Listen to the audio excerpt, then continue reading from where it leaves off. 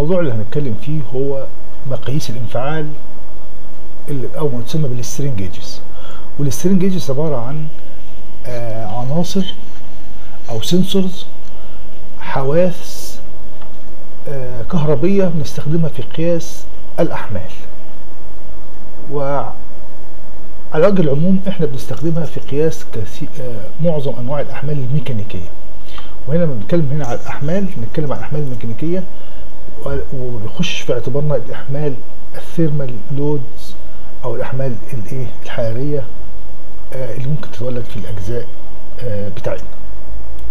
آه ال strain gauges دي بتستخدم في حاجتين في القياس على وجه العموم يعني بتستخدم في القياس وعمليات التحكم.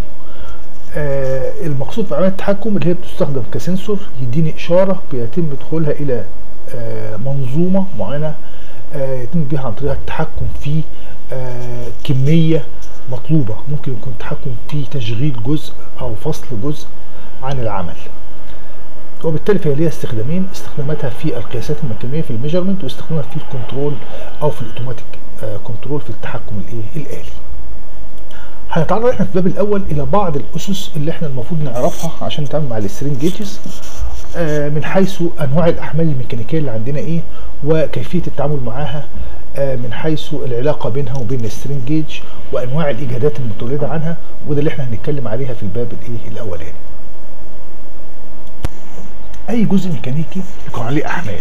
الأحمال دي آه أحمال ميكانيكية ممكن تبقى عليه أحمال أخرى أحمال آه حرارية لكن إحنا بنتكلم على الأحمال الميكانيكية. الأحمال الميكانيكية اللي هي ال loads دي دي في الواقع هي مجموعة من الحاجات. ال load هنا مش معناه force لا. ال load هنا معناه ممكن يكون قوة force ممكن يكون عزم انحناء. bending moment ممكن يكون قوة قص. ممكن يكون twisting moment دي أربع أنواع الأحمال الميكانيكية اللي إحنا ممكن نتعرض لها. وبالتالي فالقوة تعتبر load ولكن مش كل ال loads قوة. يعني القوة نوع من أنواع الاحمال القوة اللي هي ال force نوع من أنواع الاحمال من ال loads. لكن كلمة load ممكن يكون قوة ممكن يكون عزم انحناء أو عزم دوران ممكن يكون قوة قص.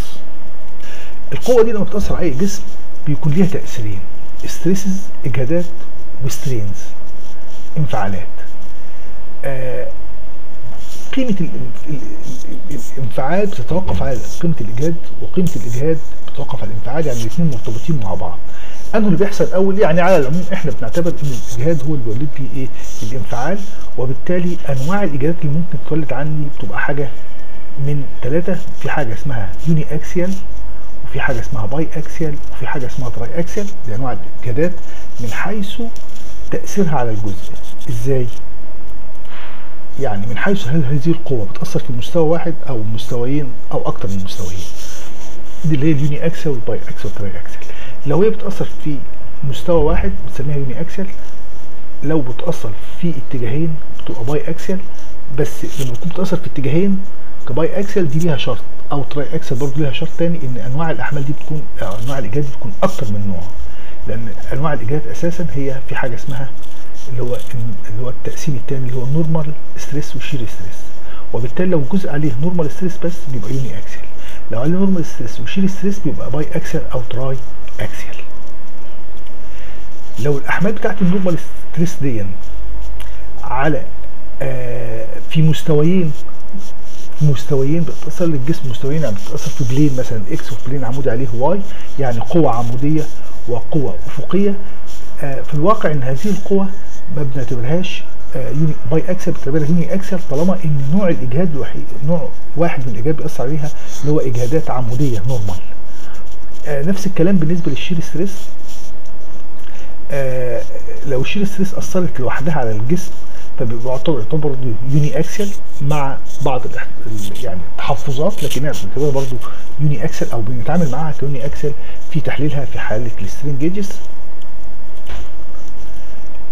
ولكن آه لو كانت normal مع shear فدي بتديني حالة biaxial أو حالة triaxial في الواقع إحنا في التصميمات الميكانيكية عادة بنشتغل على uniaxial و biaxial وحتى حالة triaxial بنحاول آه بنحولها إلى حالة biaxial وبنتعامل معاها إن هي biaxial condition أو state of stress بمعنى إن بنعتبرها تحميل في مستويين.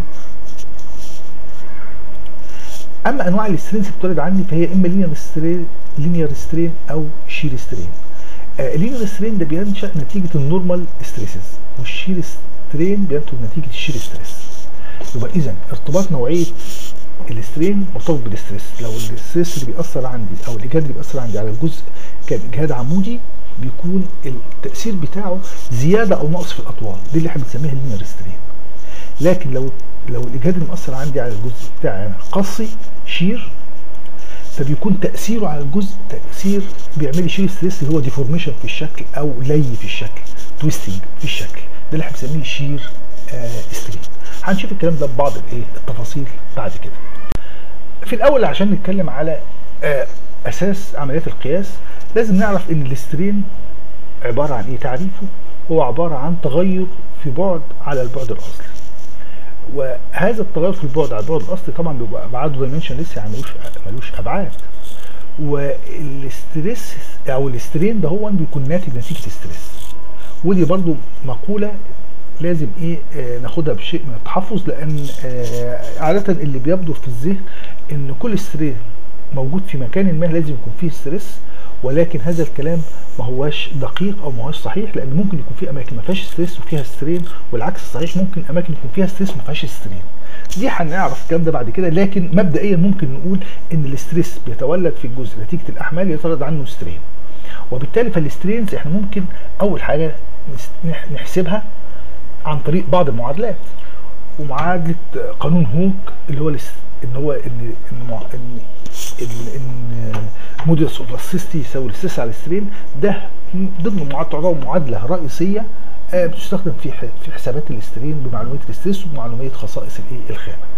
دي طريقة. الحاجة الثانية ال stress ال strains دي إحنا ممكن نحصل عليها أو نقيمها عن طريق القياسات الميكانيكية أو عن طريق القياسات الكهروميكانيكية اللي هي باستخدام ال strain gauges وده اللي إحنا هنتعرض عليها إيه؟ دلوقتي.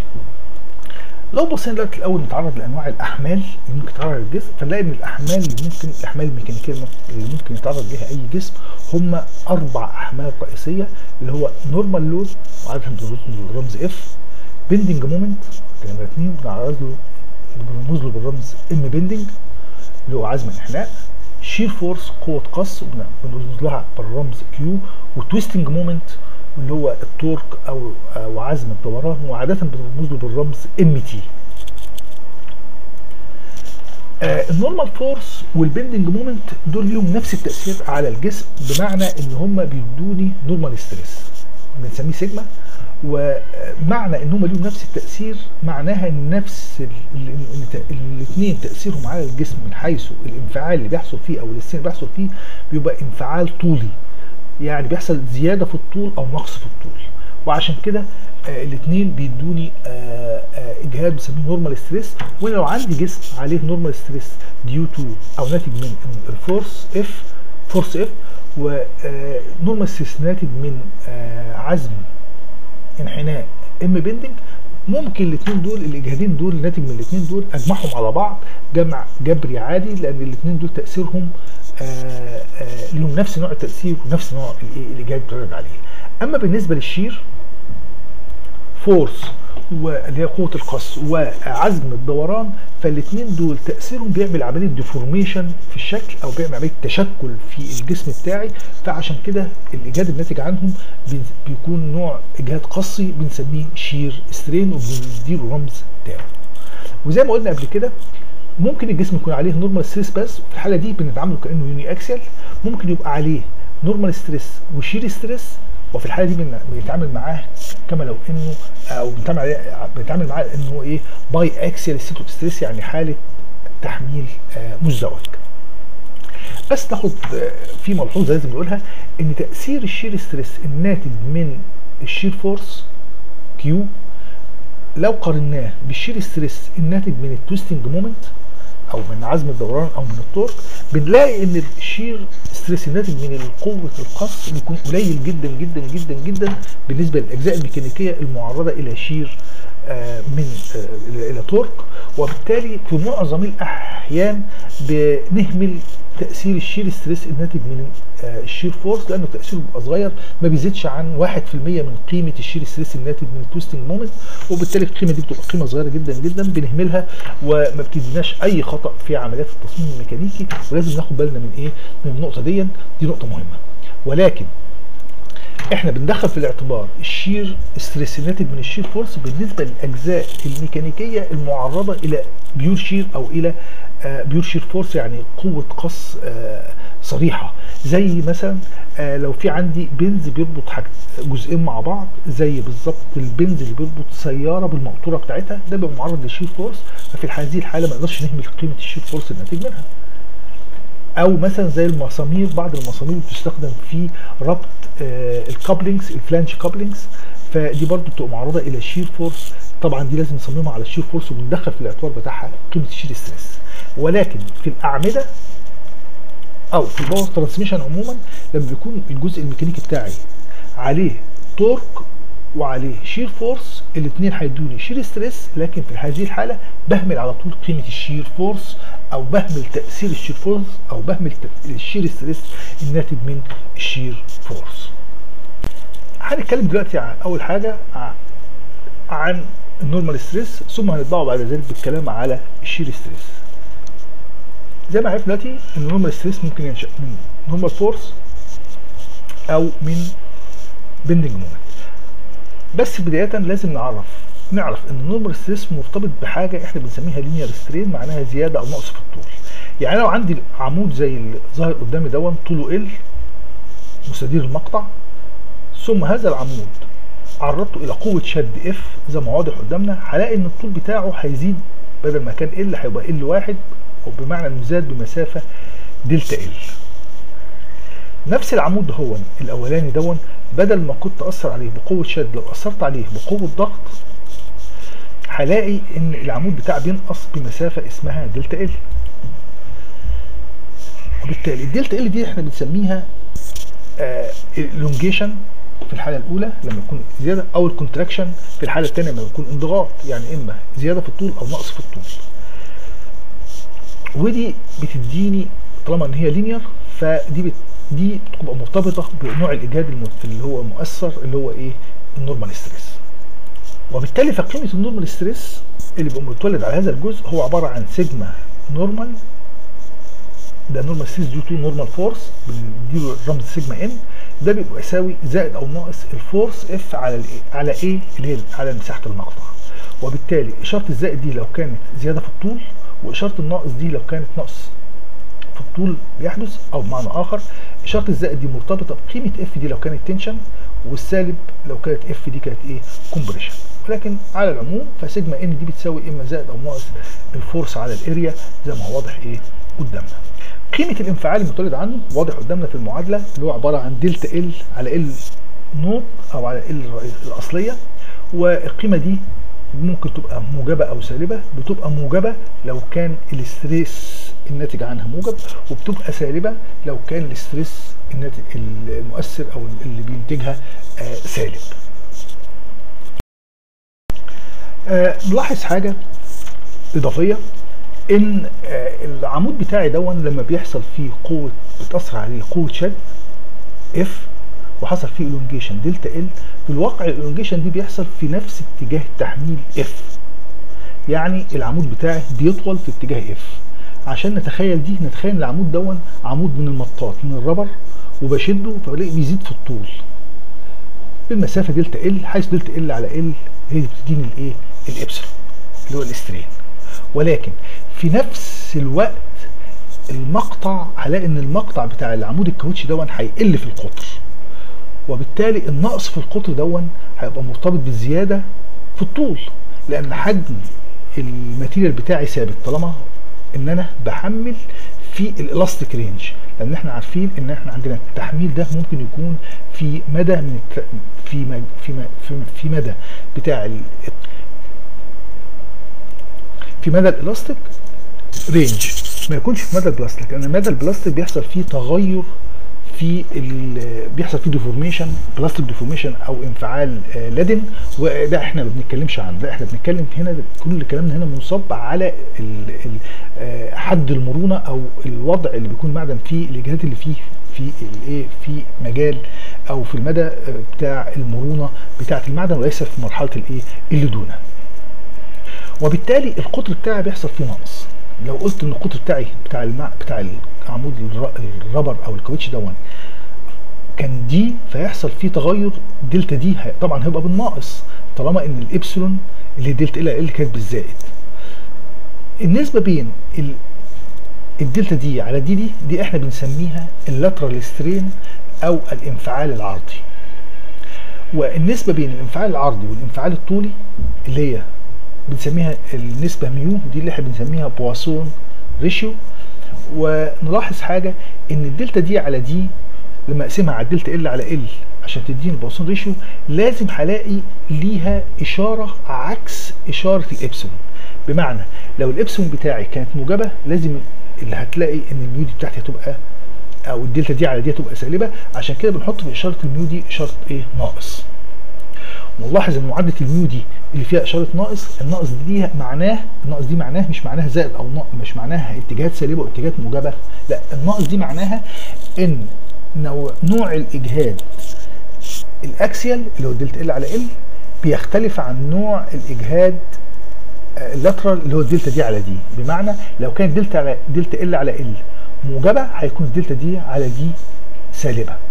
أو بمعنى اخر لو كانت delta L على L ده extension يعني حصل فيها زيادة في الطول بتاع العمود بتاعي هلاقي إن هيحصل فيه نقص في العرض قيمته أو في القطر D على D. والعكس صحيح. يعني لو كان الابسلون دي سالبة يعني إيه الابسلون سالبة؟ يعني لو كانت ال force دي بتاعتي اللي هي مأثرة على العمود كانت ضغط فالعمود الكوتش بتاعي هتلاقي قطره هيصغر وهلاقي آسف طول ارتفاعه هيصغر وقطره هيزيد. وطالما إن الطول بتاعه قل معناها إن delta L بقت سالبة معناها delta L على L اللي هتديني الابسلون هتبقى قيمتها إيه؟ سالبة. في هذه الحاجة هلاقي في هذه الحالة هلاقي إن ال delta D على D هتبقى موجبة. موجبة. وبالتالي اشاره السالب دي معناها اختلاف نوعية الانفعال اللاترال أو الانفعال العرضي عن الانفعال الطولي. ولازم نكون ملاحظين حاجة إن الانفعال الطولي هو الانفعال الذي يحدث في الاتجاه المؤثر في الإجهاد الذي أدى إلى حدوث الاسترين أما الانفعال العرضي فده بيحصل في الاتجاه العرضي على اتجاه التحميل أو في اتجاه عمودي على اتجاه التحميل. في اتجاه عمودي على اتجاه التحميل وما ننساش دي ولازم يبقى دي إيه؟ آه فاهمينها كويس. وهنا دي توصلنا إلى conclusion معين.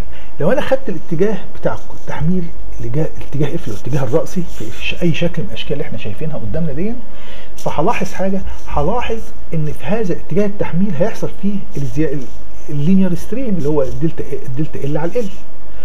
والاتجاه العمودي عليه اللي هو الاتجاه الأفقي هيحصل فيه ال delta D على D. وبالتالي لما كان ال delta L على L موجبة مع ال F كان ال delta D على D سالبة في الاتجاه العرضي.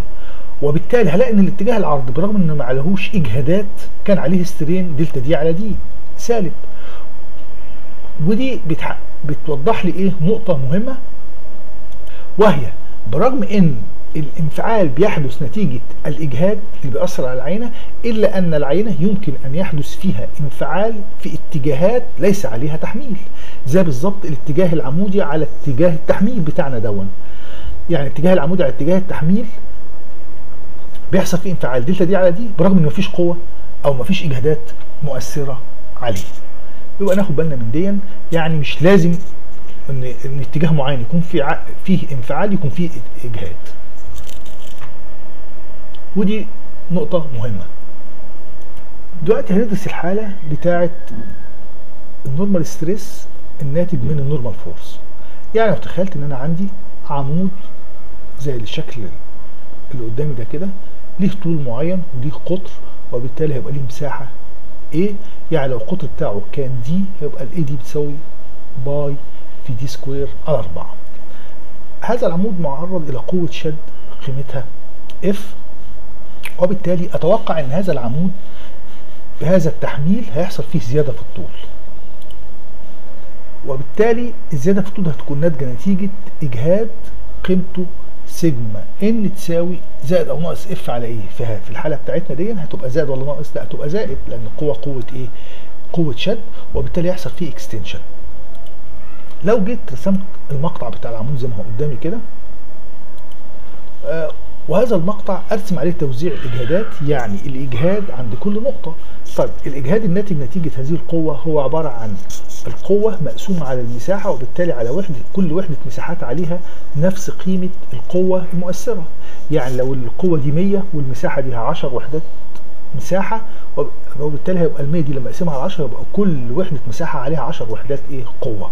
لو القوة دي كانت 1000 والمساحة دي كانت 100 مثلا هبص الاقي ان كل وحدة مساحات هيبقى عليها 1000 على 100 هتبقى عليها 10 وحدات قوة اللي هو ده الإجهاد المتولد وبالتالي كل النقط ان هنا هتلاقي عليها إجهاد متساوي وعشان كده التوزيع بتاعه بيبقى توزيع منتظم زي اللي واضح إيه قدامي.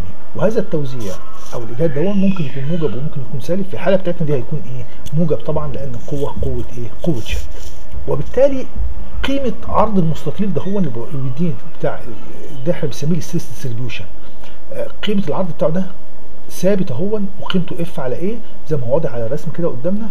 ده يعني إن جميع النقاط على هذا المقطع متساوية في الإجهاد.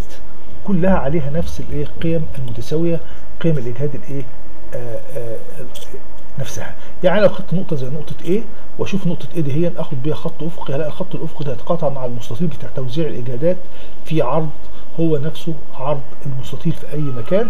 وعشان كده بنقول إيه؟ بنقول إن الاجهادات المتولدة من آه الحمل العمودي هي اجهادات عمودية منتظمة أي موزعة على كل وحدات المساحة بتاعة المقطع بالتساوي. ودي نقطة إيه؟ مهمة.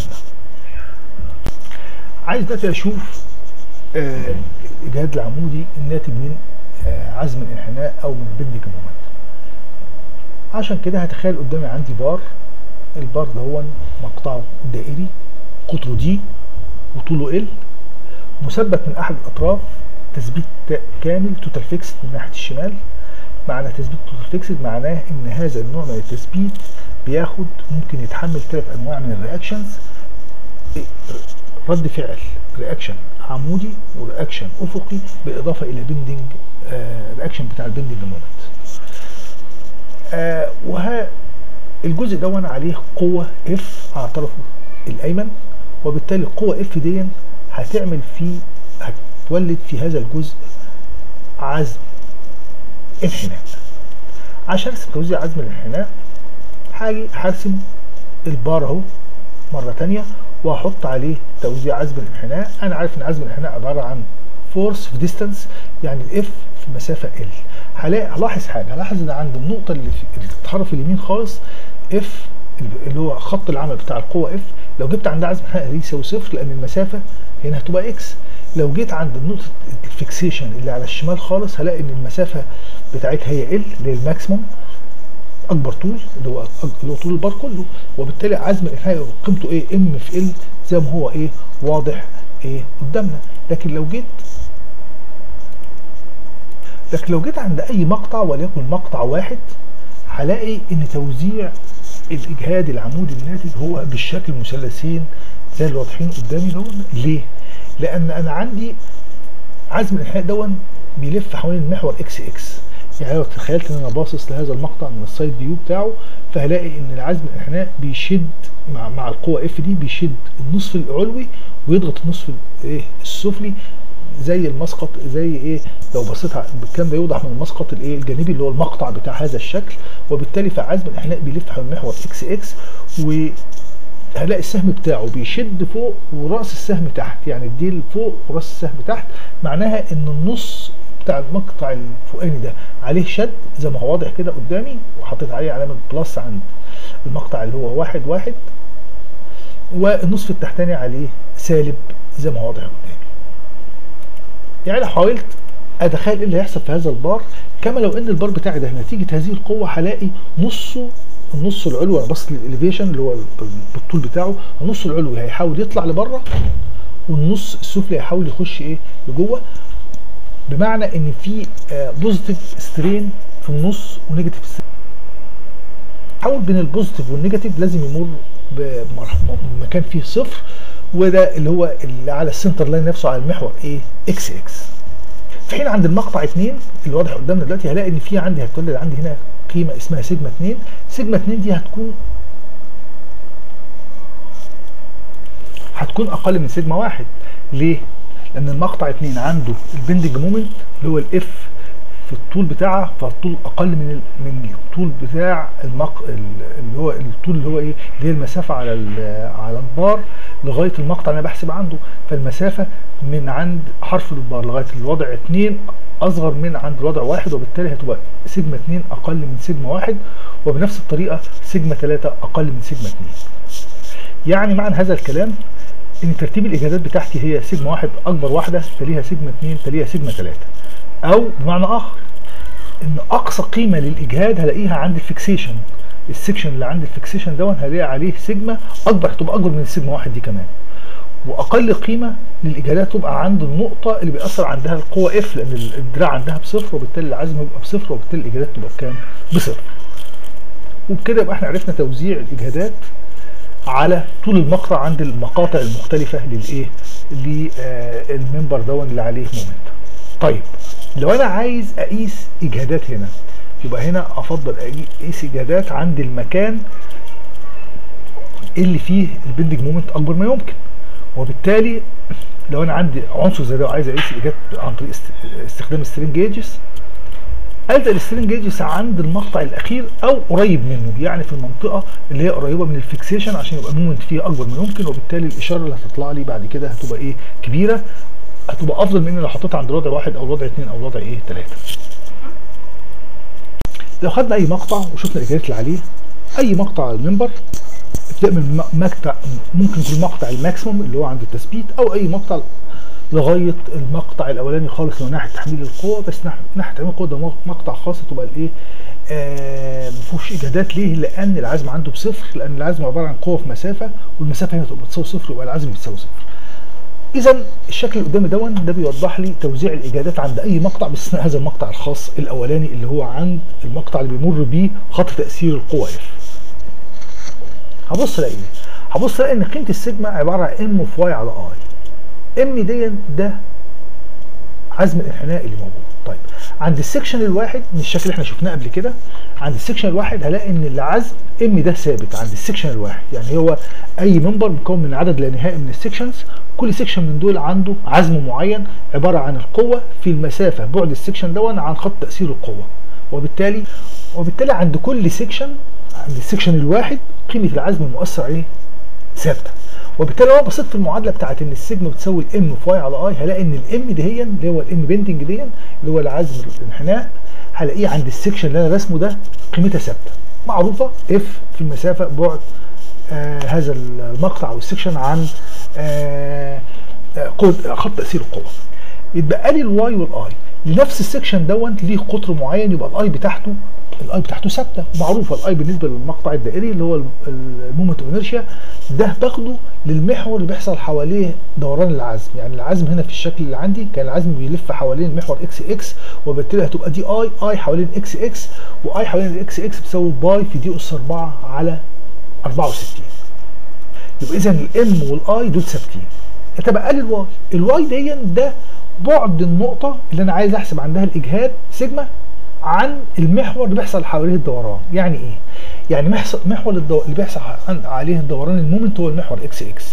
يبقى أنا لو عايز أي نقطة زي النقطة اللي عندي مثلا نقطة A دي هي هلاقي إن النقطة A دي تبعد عن إكس إكس مسافة Y. يبقى لو حطيت المسافة Y دي في المعادلة هتديني قيمة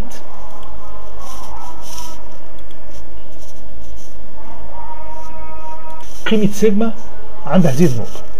وبالتالي يبقى المعادلة بتاعت سيجما تساوي M في Y على I دي معناها إن سيجما تساوي constant في Y constant اللي هو ال M على ال I لأن ال M ثابتة عند ال section الواحد وال I إيه ثابتة وبالتالي العلاقه بين سيجما تساوي constant في Y دي دي تعتبر معادلة خط مستقيم اللي هو الخط اللي بيعمل اللي هو الخط اللي إيه اللي مرسوم في توزيع ال stresses على الشكل اللي قدامنا حيث ال M اللي هي ال moment اللي هو ال F F L ال I اللي هي pi D أس 4 على 64 وال Y اللي هي D على 2 إمتى تكون D على 2 Y لما أكون عايز أحسب ال sigma maximum وبالتالي فقيمة السيجما بتتناسب مع ال Y أقل قيمة ليها عند ال Y بتساوي صفر.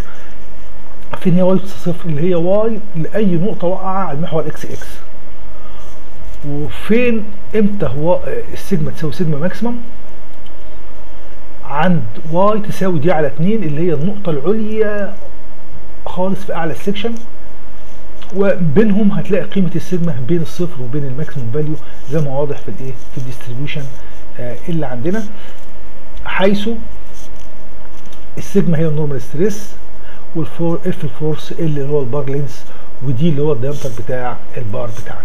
وبكده يبقى إحنا عرفنا الإجهادات المتولدة الاجهادات العمودية المتولده نتيجه القوى العمودية اللي هو ال normal stress due to normal force هنتكلم دلوقتي على تاني حاجة اللي هو ال shear stress وهنبتدي في ال shear stress بال shear stress الناتج من ال shear force اللي هو ال shear stress due to shear force ال shear force هيتولد في الجسم عندي لو عندي جزء بار زي دون كده ليه قطر معين وليه طول معين ال وفي قوة بتأثر في مكان معين وليكن F دي فهلاقي إن القوة دي هيتولد فيها عند كل مقطع منها آه إجهادات قص زي اللي إحنا أو قوة قص زي اللي إحنا آه زي الواضحة قدامنا كده بالخطوط البيضاء دي وهذه القوة القص بتبقى مماسية لل cross section نفسه وليست عمودية عليه مماسية لل cross section آه بتاع ال member بتاعي وبالتالي فهي بتؤدي إلى إن ال cross section بتاعي لو كان مربع أو لو كان مستطيل أو لو كان رباعي بيبتدي ينحرف وياخد الشكل الواضح قدامنا.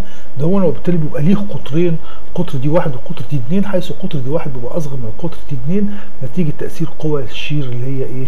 آه Q قيمة الإجهاد إحنا بنسميه tau.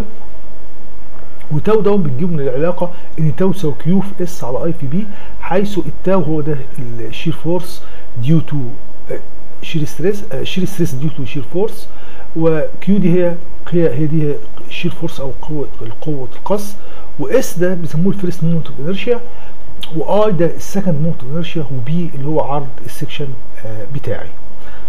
نلاحظ حاجة إن حساب ال shear stress من هذه المعادلة بيبقى منوط به بعض الصعوبات لأن في صعب شوية حساب ال S اللي هو ال first moment inertia ولو جينا رسمنا ال distribution بتاعه على ال section لو كان ال section بتاعي مثلا مربع كده هو هبص ألاقي آه ال distribution بتاعي زي ما شكل زي الايه البرنيطة وأكبر قيمة دي بنسميها ال tau actual أو قيمة ال shear stress الحقيقية أو جهد القص الحقيقي. نتيجة إن جهد القص الحقيقي دون آه بيبقى صعب آه حسابه نتيجة الصعوبة في حساب آه قيمة ال first moment inertia اللي هو S دون لأن إحنا عشان نحسبه بناخد segment أو شريحة على المقطع ونبتدي نكملها عشان تغطي المقطع كله. فدي بتبقى إيه صعبة شوية. فعشان كده إحنا في كل في معظم شغل الهندسة الميكانيكية ما بتشتغلش ما بنشتغلش بال tau آه actual لكن بنشتغل بقيمة أخرى مرادفه ليها بنسميها ال tau average أو آه القيمة المتوسطة لإجهاد القص. إذا كان اللي قدامنا دلوقتي حاليا ده ده ال actual stress اللي هو آه الاجهاد الحقيقي والخط الأخضر دون ده خط إحنا بنفترضه الخط دون بشرط إن هو يديني مستطيل مساحته تساوي مساحة الطاقية. بتاعت ال stresses وبالتالي لو جينا نرسم الإجهاد آه المتوسط ال average هنلاقيه يطلع لي خط مستقيم زي اللي هو إيه واضح قدامنا. وده معناه إن هو بنفترض إن الإجهاد المتوسط دون إجهاد آه متساوي على كل النقاط ال cross section في حين الاجهاد الإجهاد ال actual مش متساوي. هنلاقي نقط عليها إجهاد أقصى ونقط عليها إجهاد إيه؟ قليل. ولكن الإجهاد ال average بنفترض فيه أو مبني على أساس إن كل النقط بنوزع عليها الإجهادات بطريقة مستوية. وفي هذه الحالة نلاحظ إن ال tau average بتبقى قيمته أقل من ال tau actual يعني قيمة قيمة ال tau المتوسطة أقل من قيمة ال tau الإيه؟ الحقيقية.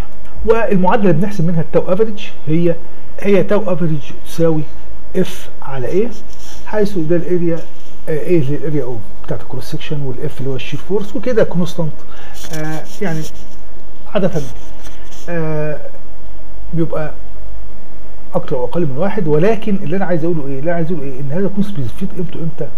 بتظهر قيمته إمتى؟ لما أكون عايز أقارن بين ال actual وال average فأنا بقول إن ال actual stress بتساوي ال average stress مضروبة في factor هيبقى أكبر من الواحد أو ال average stress تساوي ال actual stress مضروب في factor ال factor بيبقى أقل من الواحد يعني ده إيه؟ آه معامل آه تحويل بين النوعين المختلفين لل shear stress آخر نوع من أنواع التحميل اللي إحنا هندرسه اللي هو دلوقتي twisting moment اللي هو بيديني shear stress وبالتالي إحنا دلوقتي هندرس إيه؟ ال shear stress الناتج من ال twisting moment آه لو أنا عندي بار زي دون زي اللي قدامي ده ممكن يكون عمود. العمود ده هو آه في 3 dimension هلاقي ليه ثلاث محاور.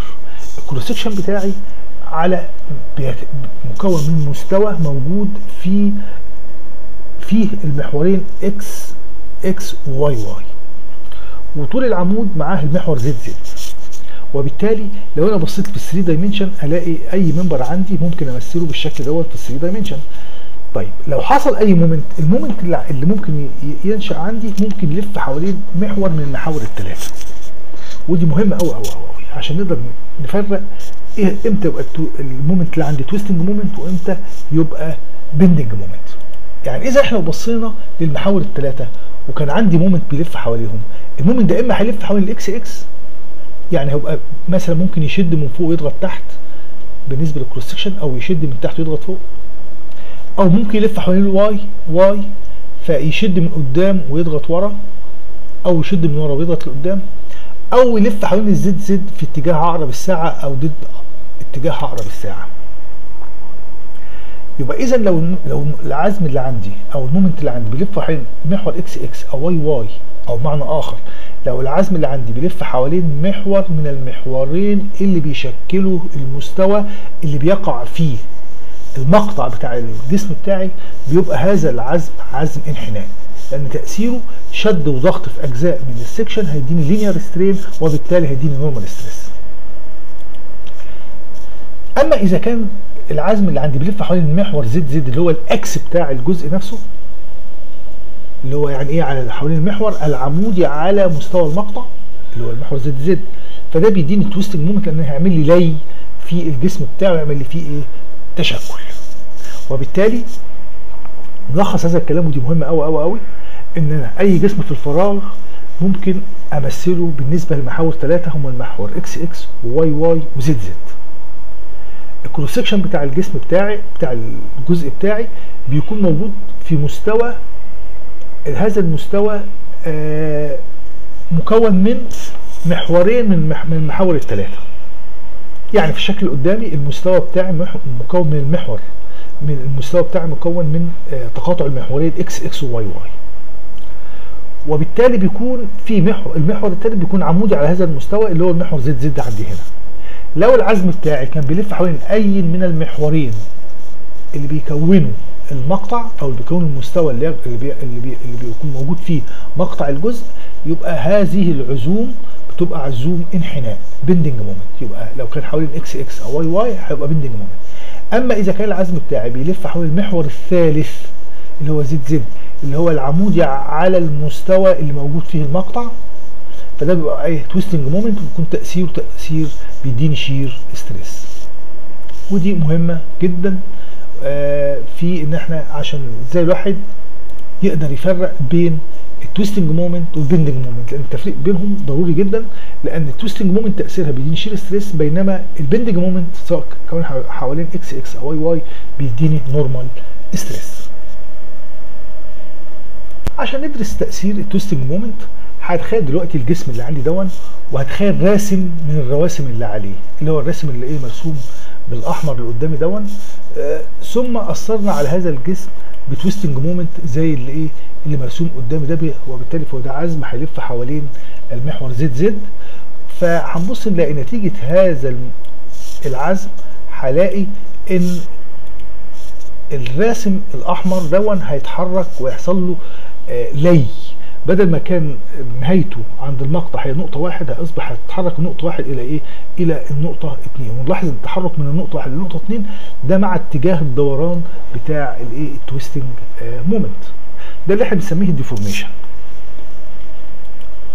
وبالتالي لو أنا تخيلت إن أنا خدت نقطة من أي نقطة أي نقطة اختيارية على ال section ولتكن نقطه A A وهشوف الاجهادات اللي عليها هلاقي عليها النقطة دي لو كبرتها عملت لها infinitesimal element بتاعها يعني العنصر المتناهي في الصغر بتاعها هلاقي إنها عليها shear في الاتجاهات وبالقيم زي ما إحنا شايفينها اللي هي إيه؟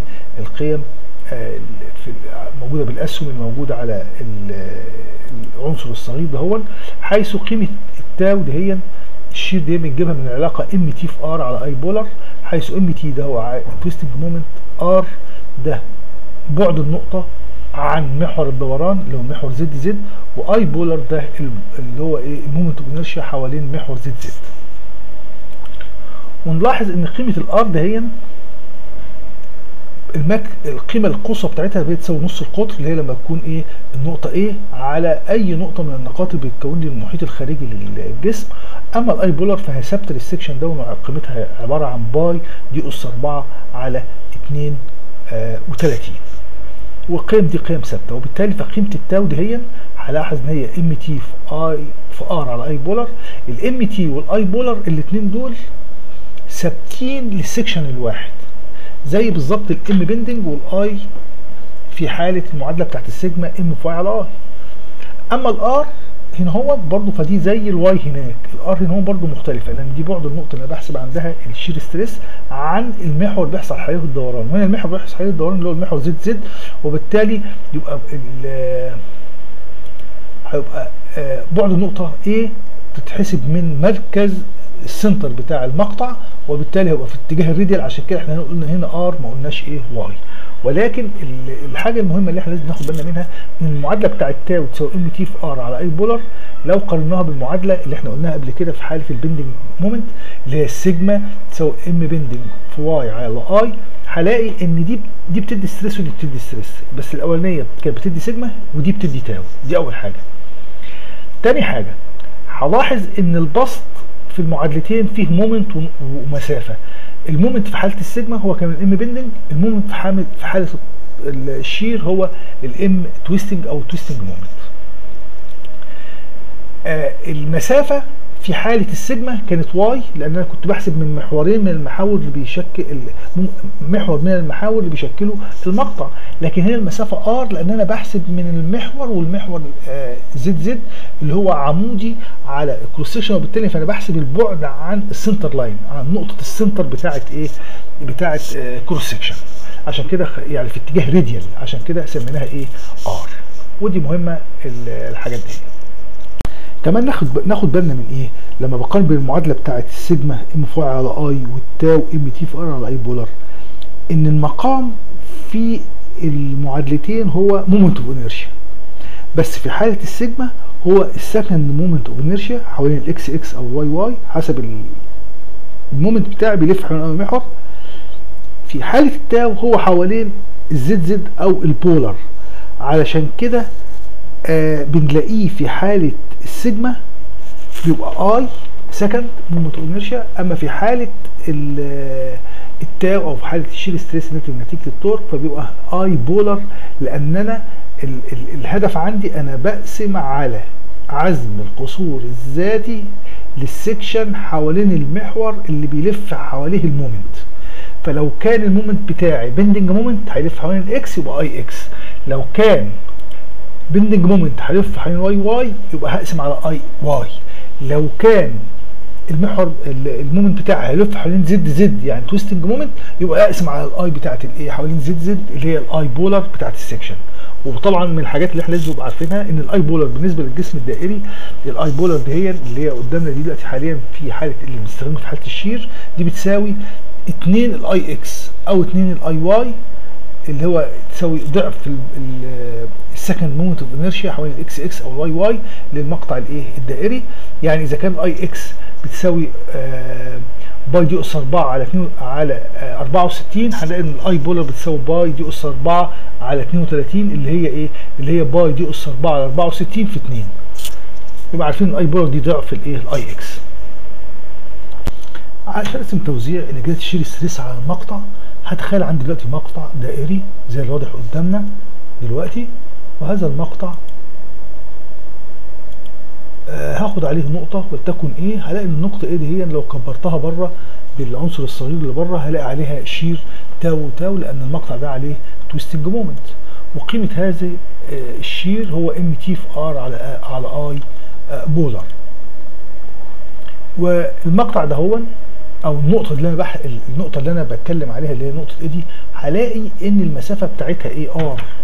اللي هو بعدها عن مركز ال center. ليه؟ أنا باخد بعد أنا باخد عن بعد النقطة عن المحور اللي بيحصل حواليه دوران ال twisting moment اللي هو المحور ZZ اللي هو عمودي على مستوى اللوحة اللي قدامنا دي دلوقتي اللي هو ال center بتاع الشكل.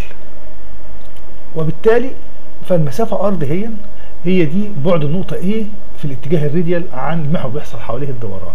لو أجي أبص المعادلة tau MT في R على I polar قلت ال MT ثابت وال I polar ثابت لل section الواحد يبقى ال tau تناسب مع ال R هلاقيه بيطلع لي شكل زي حرف ال K اللي قدامنا ده هو والنقطة A دي هي على بعد مسافة R. فلو حركتها بقوس ركزت في المركز وفتحت فتحة R والف بالمركز لغاية لما اوصل على الخط على على الخط الرأسي. ثم بعد كده أخد من النقطة دي خط أفقي هيتقطع لي مع الشكل اللي رسمه. في اللي هو ال distribution بتاع ال shear stress في مسافة اللي هي المسافة الخضراء دي والمسافة الخضراء دي بتقرأ لي قيمة ال shear stress المتولد عند النقطة A. وبالتالي الشكل دوت بيديني بعض المعاني اللي لابد ناخد بالنا منها. اللي هي إيه؟ آه اللي هي إن ال shear stress عند نقطة بتتوقف على بعد النقطة عن المركز وبالتالي فكل النقاط لو أنا جيت من المركز وفتحت البرجل بأي فتحة ورسمت دايرة هلاقي إن الدايرة دي عليها مجموعة من النقط كل النقط دي تبقى على نفس البعد من ال center بتاع الشكل بتاعي وبالتالي كل النقط دي هيبقى ال shear stress اللي عليها هيبقى إيه؟ متساوي. دي أول حاجة. الحاجة الثانية عند مركز الدايرة ال R بتاعتها بكام؟ مركز الدايرة بتاعت المقطع يعني. ال R عندها بكام بصفر. عشان كده ال shear stress بصفر وده واضح في الشكل اللي إيه؟ بتاع ال distribution بتاع ال shear stress تاني حاجة الحاجة الثالثه إن أكبر قيمة لل R هي لما تكون بتساوي D على 2 لأن أنا R بتساوي D على 2 بتديني الدايرة الخارجية المحيط الخارجي للمقطع. وبالتالي عند المحيط الخارجي للمقطع بلاقي قيمة ال shear stress أكبر ما يمكن. اللي هي tau maximum اللي باينه لي في الإيه؟ في ال distribution اللي إيه؟ اللي قدام. وبكده يبقى إحنا أنهينا مقدمة عن الإحمال وأنواعها وال shear stress وال normal stress والفرق بينهم وال shear stress بيتولد من إيه؟ وال normal stress بيتولد من إيه؟ وممكن نلخص الكلام اللي إحنا قلناه في بعض النقاط. اللي هي إيه؟ أول حاجة إن الأحمال الميكانيكية عندي أربع أنواع من الأحمال أحمال قوى عمودية وعزوم انحناء اللي هو bending moment وقوى قص اللي هي shear force وعزوم دوران اللي هي twisting moment ال normal force وال shear ال normal force وال bending moment بيدوني normal stress ال twisting moment وال shear force بيديني shear stress ال normal stress تأثيره ك strain بيبقى linear strain ال shear stress تأثيره بيبقى بيديني deformation أو shear أو shear strain أي جسم عليه مجموعة من الجهادات العمودية ممكن تكون نتيجة normal force و bending moments ممكن نجمعهم تجميع جبري ما فيهاش مشكلة. لكن لو عليها ودي الحالة دي بنسميها ال uniaxial state of stress أو الحالة التحميل الأحادية المحور أما إذا كان الجسم بتاعي عليه shear stress و normal stress ففي هذه الحالة بتبقى حالة إحنا بنسميها biaxial state of stress يعني حالة تحميل مزدوجة الإيه؟ المستوى. وهذه الحالة في هذه الحالة لما يكون عندي في حالة ال bi state of stress فهنا الجسم بتاعي بيبقى عليه shear وعليه أو أي عنصر من الجسم بتاعي عليه shear shear stress بالإضافة لل normal إيه stress. وده ملخص تقريبا اللي إحنا إيه قلناه دلوقتي.